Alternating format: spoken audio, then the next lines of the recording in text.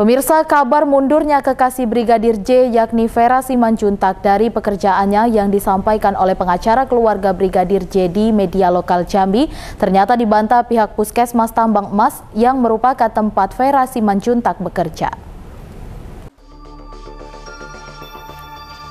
Vera Marita Simanjuntak belakangan ini namanya sempat melambung bersamaan dengan kasus polisi tembak polisi pada beberapa waktu lalu. Vera, wanita berdarah Batak ini adalah kekasih dari Brigadir Joshua yang tewas dalam kejadian polisi tembak polisi pada tanggal 8 Juli 2022 lalu. Vera juga merupakan salah satu saksi kunci dalam kasus penembakan tersebut.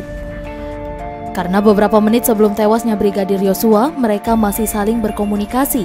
Bahkan korban sering menyampaikan kepada Vera soal adanya ancaman terhadap dirinya.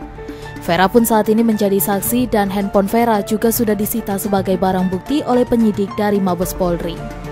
Usai dimintai keterangan, hingga saat ini Vera belum masuk kerja. Santer disampaikan pengacara keluarga Brigadir Yosua jika Vera tertekan dan mengundurkan diri dari pekerjaannya. Namun hal ini dibantah oleh Kepala Tata Usaha Puskesmas Tambang Emas Aryono. Menurut Aryono, Vera yang merupakan tenaga kontrak daerah statusnya masih staf di puskesmas dan belum ada surat pengunduran diri. E, Ibu Vera itu status di sini kepegawaiannya status e, tenaga kontrak daerah atau TKD.